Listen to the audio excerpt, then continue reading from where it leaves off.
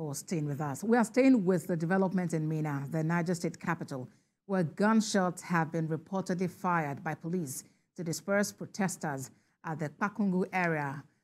Protesters are protesting over the rising cost of essential food items. As early as 7 a.m. on Monday, a group of women blocked Minna-Bida Road at the popular Kpakungu roundabout to express their grievances over the rising cost of living.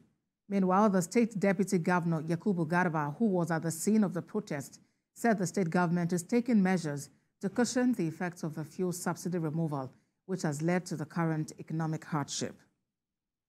Already the council is on the process.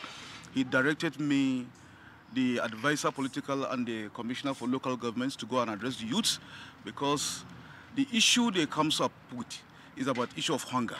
And already in the one of the, the, the, items of discussion in the council is about issue how do you cushion the economic hardship of the entire state and how do you relate with the federal governments to ensure that yes, some uh, some policy that will come with human face that our people will not be in languishing of this added poverty. So we have gone there and we have addressed the youths that actually we are discussing to see how we can bring issue of palliative around the state, not only a segment of people that are protesting.